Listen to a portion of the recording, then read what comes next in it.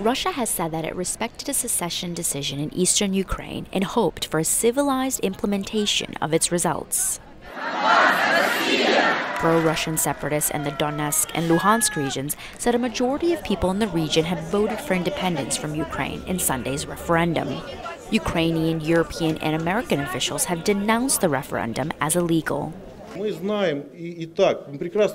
We completely understand that this referendum will not be recognized by the outside world. European organizations and international governments will not recognize it, but through this referendum, we want everyone to listen to us and the power of the people. A rebel leader in the Donetsk region praised the Kremlin's response to its referendum and vowed to join a customs union with Russia. Miroslav Rudenko said the rebels will now set about subordinating all the power structures in the region and cutting off ties with authorities in Kiev. Kiev has described the pro Russia rebels as terrorists. Ukraine's acting president Alexander Turchynov said Moscow was aiming to sabotage presidential elections at the end of this month.